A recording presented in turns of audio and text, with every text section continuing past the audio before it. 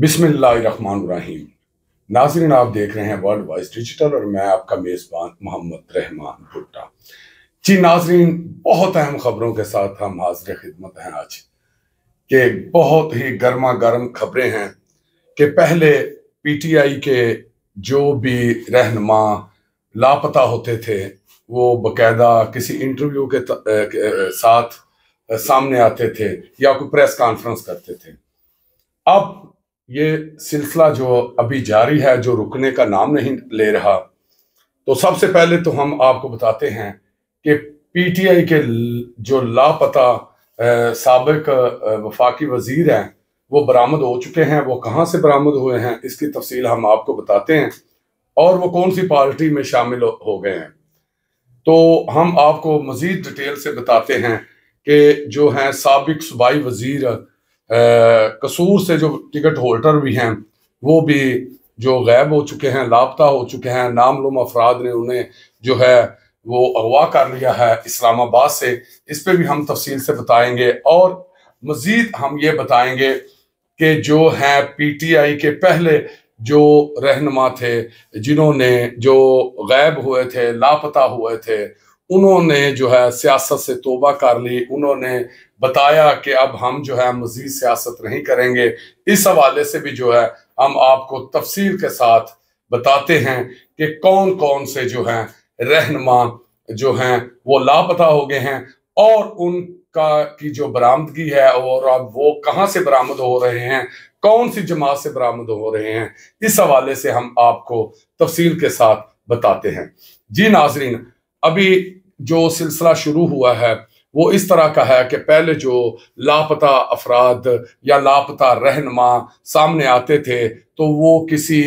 Anchor person को जो है वो इंटरव्यू की डिमांड करते थे या फिर प्रेस कॉन्फ्रेंस करते थे। अब सबसे आसान तरीन जो हल है वो अब ट्विटर पे निकला है कि जो पीटीआई है, वो भी ट्विटर पे है, जो इस्तेकाम पाकिस्तान पार्टी है, वो भी ट्विटर पे है, और दीगर जो जमाते हैं, उनके भी जो मामला चल रहे हैं, वो अब उन्होंने सोशल मीडिया का जो सहारा ले लिया है। आज ट्विटर पे जो है पीटीआई के ट्विटर पे बताया गया है कि सबक सूबाई वज़ीर जो कसूर से से है तहरीक इंसाफ के टिकट होल्डर आसिफ नकई को गुजश्ता जो शब है, इस्लामाबाद से नामूम अफराद ने हरासत में ले लिया। लेकिन अब तक किसी भी अदालत में में पेश नहीं किया गया। इस्लामाबाद से सबक जो वफाकी वज़ीर अली नवाज़ अवान और अटक से जो टिकट होल्डर थे, अकबर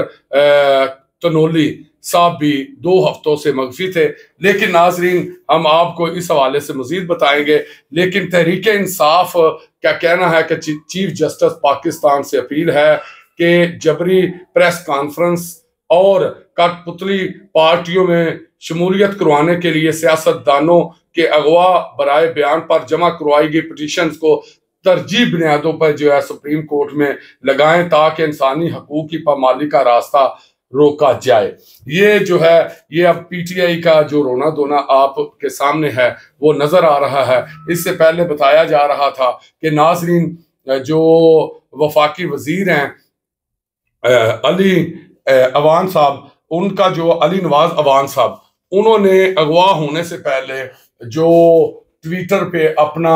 बयान रिकॉर्ड करवाया था। उनका कहना था कि अगर मुझे जबरी तौर पे अगवा कर लिया जाता है या कोई ऐसे मामला होते हैं तो आप ये मत समझे कि मैं पीटीआई को छोड़ दूँगा, मैं पीटीआई से जो है वो दस्तबरदार हो जाऊँगा। लेकिन आज जो है अचानक वो कहाँ से बरामद हुए, हम उस हवाले से आपको डिटेल बताते हैं कि वो कैसे बरामद हुए और कहाँ से बरामद हुए। आज का तो ये है कि अब जो है सरदार आसफ नकई साहब जो है वो भी अभी तक लापता हैं और आ, हमारे जराए बता रहे हैं कि जिस तरह पहले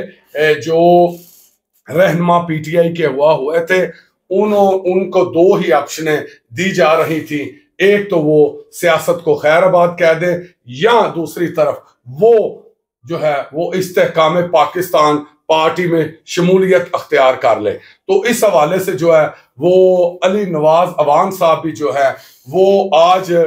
जहाँ से वो बरामद हुए हैं जहाँ से उनकी मुलाकात हुई है इस हवाले से हम बताते हैं कि वो जो है वो अचानक ट्विटर पे पता चला है कि जो ए, हम हैं अली नवाज़ अवान साहब सबक वफाकी वज़ीर दो हफ़्ते पहले जो अगवा हुए थे लापता हुए थे या सैर को चले गए थे। वो जो है, वो आज तहरीक इस्तेकाम पार्टी के पैटर्न इन चीफ जो हैं, जहांगीर तरीन और सदर अलीम खान से उन्होंने मुलाकात की है और मुलाकात के बाद उन्होंने तहरीक इस्तेकाम पाकिस्तान पार्टी में शमूलियत अख्तियार कर ली है। और यही हम आपको बताते हैं कि अब ये जो इस वक्त सूरत हाल पीटीआई की है तो वो ज़्यादातर जो हमें नज़र आ रहा है कि जो लापता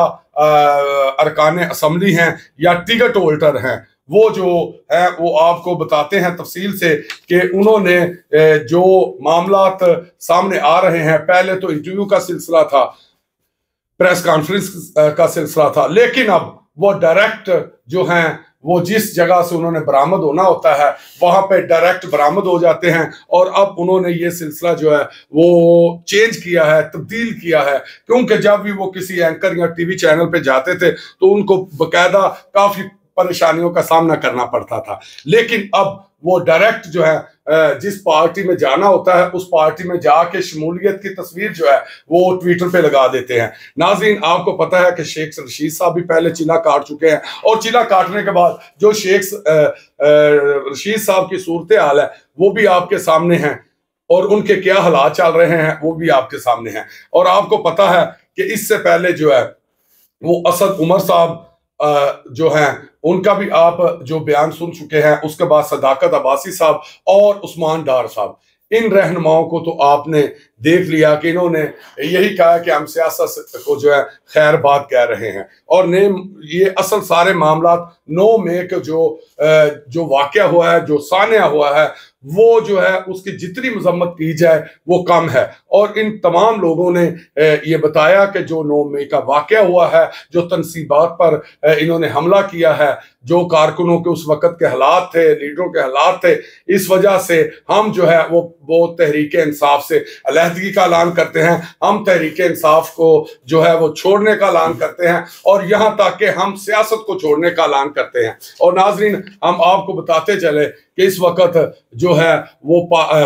पा, इस्तेकाम पाकिस्तान पार्टी की जो सूरत हाल है कि उसमें भी अब मजीद जो है वो दिन ब दिन हम आपको पहले प्रोग्रामों में बताते आ रहे हैं कि जो पी टी आई के जो पी टी आई के अरकान असम्बली हैं या टिकट होल्डर्स हैं उनका अब रुझान जो है वो तेज़ी के साथ जो है वो इस्तेकाम पाकिस्तान पार्टी की तरफ़ जा रहा है। आज जो है, वो जो पीटीआई के सबक रहनमा डॉक्टर अमजद हैं, उन्होंने भी जो है जहांगीर तरीन और अलीम खान से मुलाकात के बाद जो है शमूलियत अख्तियार कर ली है। इससे पहले भी जो है, थे सबक वफाकी वज़ीर गुलाम सरवर खान साहब, वो भी शमूलियत अख्तियार कर चुके हैं जो पीटीआई के रहनमा थे। इसके अलावा अली जैदी साहब, इमरान इसमाइल साहब, फरदोस आशिक अवान साहबा अंदलीब अब्बास साहबा। ये पहले ही पीटीआई में जो है बकायदा तौर पे शामिल हो चुकी हैं। इनके बाद जो है, ये ज़्यादा जो स्पीड से पीटीआई को डेंट पड़ रहा है। पीटीआई के जो सबक वजरा हैं, पीटीआई के जो एम एन एज हैं, जो एम पी एज हैं, वो ज़्यादातर अब जो है, उनका रुझान